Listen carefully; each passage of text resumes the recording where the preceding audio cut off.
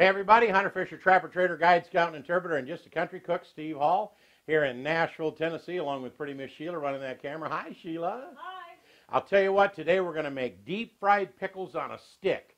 They're fun to do. The kids will love them. Kind of keep the kids away from the grease when you're deep frying. That's a little dangerous. But and what do you call them, Sheila? You don't call them deep fried pickles on a stick. You're calling them Pickle, pickle. a pickle sickle. anyway, we're going to make some pickle sickles, and I had to buy a big jar so I could get pretty good sized dill pickles that were straight out of there. But come on over and let's take a look at this. Now that I got a couple of dill pickles out of the jar, there's the good end, there's the end that came off the vine. So I'm going to cut off the vine end, just the little end there. Where's the good end? There it is. There's the vine end.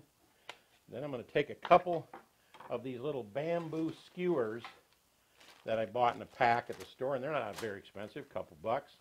And I'm going to put this dead center in the dill pickle and try to run it all the way through so it pops out the other end barely and then back it off so it's inside. Because I want it as short as possible because I got to find a container to roll it in, both the wet and the dry ingredients. So we'll prep our pickles here, try to get it in the middle. Be careful when you're shoving it through it, don't come out the side and poke you in the hand there. There he is. We'll back him in just a hair. All right, and I'm only going to do a couple of pickles. You'll get the idea. We don't need to do a whole bunch. But I'm going to move this off to the side right now and get started on our wet ingredient, which is one cup of buttermilk,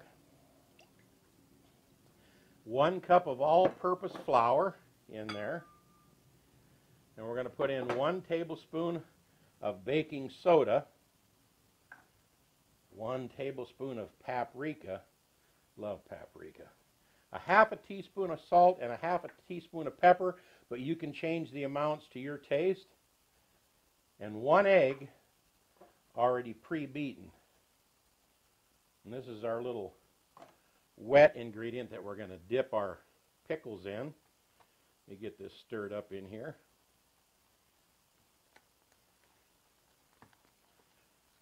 And I might grab just a little bit more. Sheila, if you would please, go grab some more buttermilk. All right. Thank you, Sheila. You're welcome.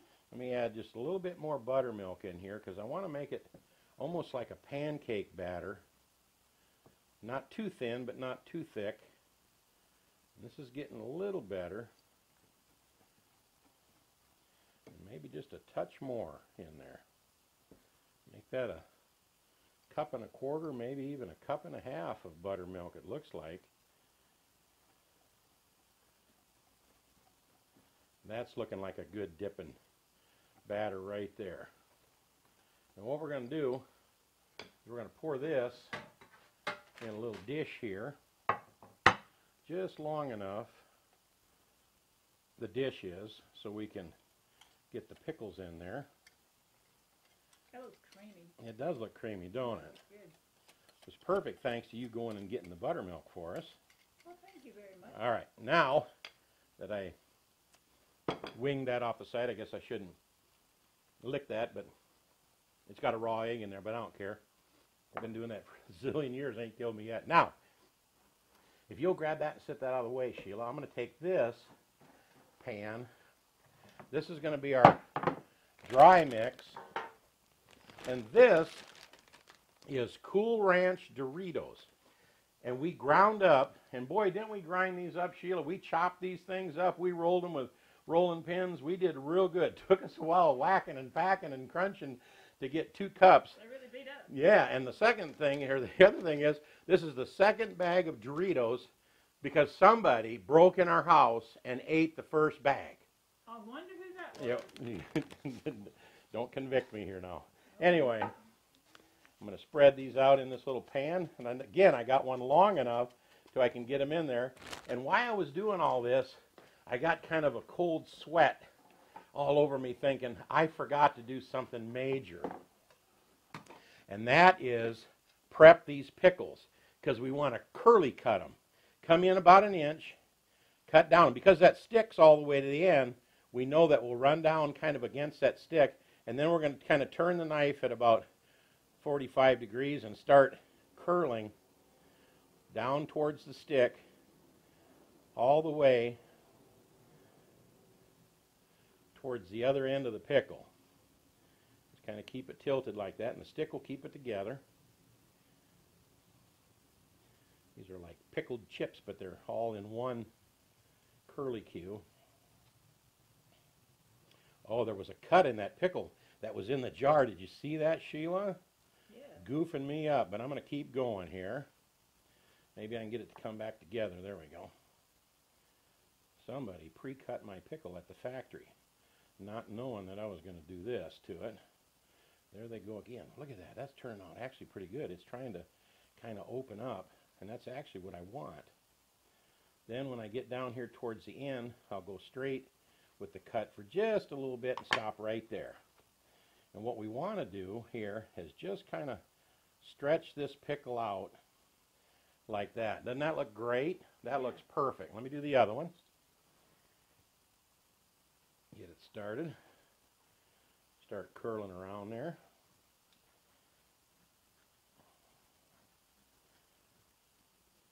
Get him all the way to the other end.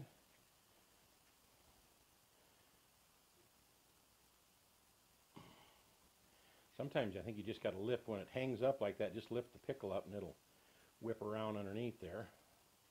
Come on, stay on there. There we go. Perfect. And again, we just want to kind of stretch these out. Then we want to take them and put them in our little wet batter here. Our little wet bath. I'm going to get my fingers in this. I don't care. Because I want to get it on there good. And then go from there. Even though I'm only doing two pickles, obviously this will do a whole bunch of them for your party. Keep my stick in there. Oops, kind of slid it off the stick there a little bit, but I got it back again. Then I'm going to move it right over here and lay it in that tray.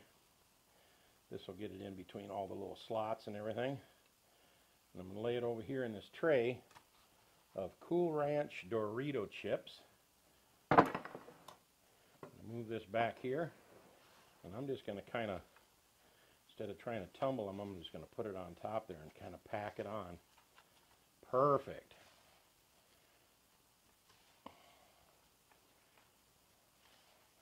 This is going to be just right. Now, we're going to get our oil heated up here to 350 degrees, get it dead center, and drop them in. We'll see in a second. Well, Sheila said we need more than two for the pitcher, so we battered up four of them here. Our oil just hit between 325 and 350. Now, let's just drop these little babies in here. We'll do a couple at a time. Beautiful. Watch the oil. Be careful. That looked good, Sheila. It does. Because we need the full length corner to corner to get that stick in. Now you can always cut them sticks off and make them shorter so you can fit them in a smaller pan, but we're going to let this brown up and be right back with you. We just got them out of the deep fryer there. We're going to drizzle a little bit of ranch dressing on them. And I got to tell you, we had a little trouble keeping the breading to stick to them, and Sheila said maybe if we put them in the refrigerator after we battered them and let them sit for a while and kind of firm up before we put them in. So we'll try that on the next batch. But this batch right here, there you have it. Pickle sickles, is that what you got, Sheila? Yeah. They're still going to be fun to crunch on and eat. You know, I think they're going to be just fine. Even though the batter stuck on a lot of parts of it, but other parts it didn't want to stick so good. But we wanted to whip it up anyway. So here you go. Well, we're going to work on this recipe. Maybe we'll put some notes in the description box below.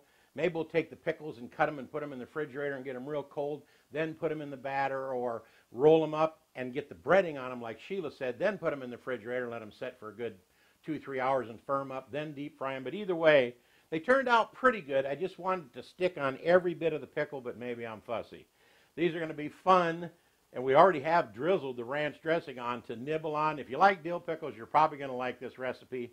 And don't let anybody sneak in your house and eat your first bag of Cool Ranch Doritos. We have no idea where they went to, but the Dorito monster got the first bag about three, four days ago, so we had to go to the store and buy another bag to do the recipe. But if you like our recipes, subscribe to our channel. Little Shotgun Red's face will pop up over here in just a little bit.